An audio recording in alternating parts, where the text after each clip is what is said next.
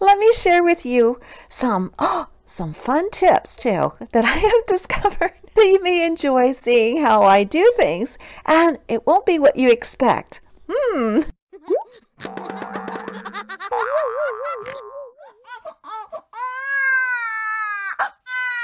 Hello, I'm Yvonne, and welcome to having you on. It's time for another edition of In the Crib, and today's episode is all about organizing hanging clothes for your reborn dolls. But it works for any kind of closet that you may have some hanging clothes and how to organize, well, how I how I organize my reborn dolly clothes and perhaps you'll like some of the ideas that I have to share with you today. In the crib is a segment that I do on my channel from time to time where I show a how to or select a topic that I want to talk about. and I'm so glad you're here. So let's get organized and get into those hanging clothes. And here's some tips I want to share with you. Here we go. You may have noticed I have a lot of hanging clothes, so that means I have to know where things are and pretty easily too. Let me share with you what I do. So here we go. Come along with me. It's fun. at least I'm laughing. Here we go.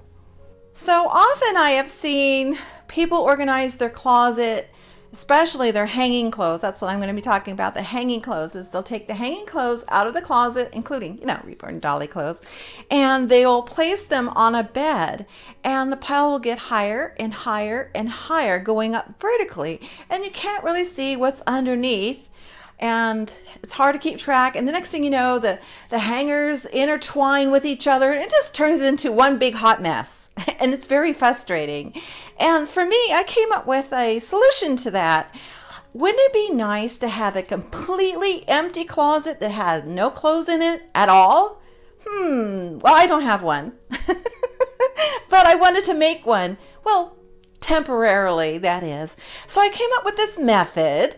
I take a pole. Uh, this is a curtain rod pole that I found. A neighbor was throwing out. It's very easy to find them because they look like this, right? They can be shower curtain rods, whatever. But this one uh, is a curtain rod of some sort. And what I do is I place it. Well, come along, take a look what I do. Come on. Come on, how can I hang things up in midair? Well, I kind of can. Come along and I'll show you how I do it. Here we go. Now you can see that I've levitated a closet rod out into space. No, don't I wish I could do that. No, I simply suspended it between two chairs and I added a little towel in between so I protect my chairs. And now I have a floating closet. a floating closet where I can hang. Oh, ooh, it gets better. Let me show you. I know you know what I'm going to do, but it's so much fun and so much easier. So here we go. So I hung a few clothes up for you to see this floating closet. I just absolutely love this. This is what I do for seasonal clothes or clothes for certain holidays. I get them out and I hang them up and so I can see them all at a glance versus piling them up vertically that I can't see what I have.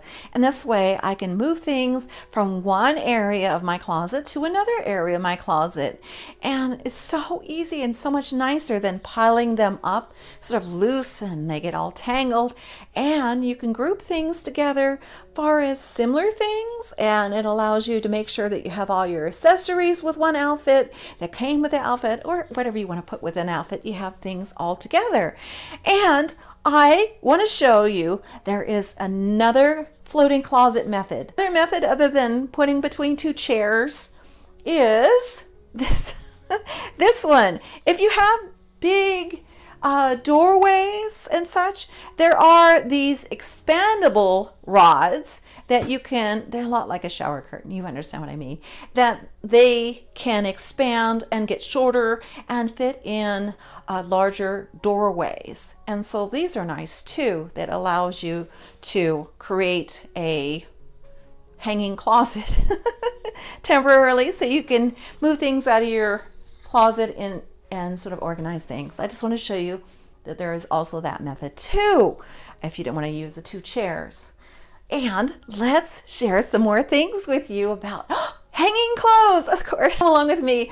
Oh, what about those hangers? I know. What about those hangers? So let me talk about those hangers next. So here we go. One more thing I wanted to point out before I move into the hangers, talking about them, is with the two chair method and the rod on the backs of them, with supported by a little bit of towels. So they one, they don't roll, and two, that they don't damage your chairs in any way. And the chairs surfaces, the seat part, provide another area for you to organize your reborn doll clothes, you can take out items perhaps that you wish to donate or you just don't want anymore. Perhaps you would like to sell the items. And look, you can separate one side for donations and another side for something you might sell. See that? Two surfaces. it's actually three, right? The hanging clothes and the two sides.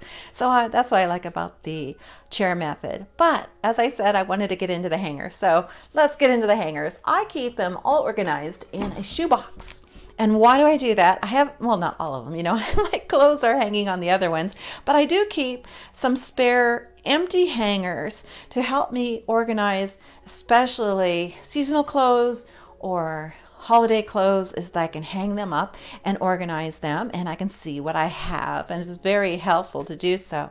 So let's get into the types of hangers. So I like the really thin plastic ones doesn't matter what color. and um, I just really, well, let me tell you, it, it does matter what color. Perhaps you would like to organize more.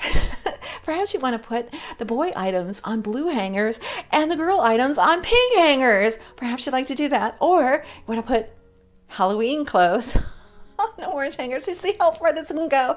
And it just goes on and on and what you can do. And that's what I like to do with the spare box of hangers that I have is I like to get out seasonal clothes and that way I can hang them up and I can see them.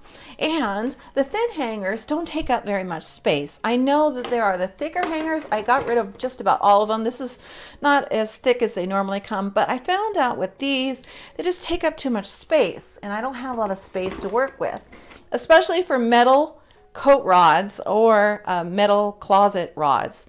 It works uh, it slides a lot easier with the thin plastic ones.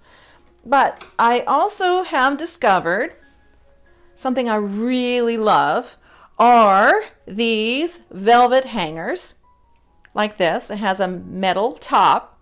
And what's really nice about this is they slide really easily on wooden rods, wooden closet rods. Slide so much easier. And look how thin It doesn't take up very much space at all. I have found these two sizes work best for me. This is more of a toddler size, but it also works on infant size clothes as well. Larger ones, especially about six to nine months, works perfectly on, we call this the child size. And they also have the infant size, which I like a lot. And it is smaller. I'll show you the size comparison so you can see. See that? And it has this velvet type surface to it and it stops clothes from coming off the hangers. And these work so well on the wood. They slide so easily, but they could also work on metal rods as well. But I really like these. So that's what I've discovered with hangers. What's so nice about the floating rod method for organizing your clothes is you can return your clothes from the floating rod into your closet, now organized, and you know where everything is because you place them in there in an empty closet and you can turn your floating rod back to inside your closet and set it aside for the next time you want to organize your closet. I hope that you enjoyed this episode of In the Crib, organizing, hanging, reborn doll clothes. And please stick around for more episodes of In the Crib. Thanks so much for watching. I'm Yvonne. Thank you for watching. Having you on. Please subscribe so you don't miss. That's all for now. The Reborn Feel Good channel.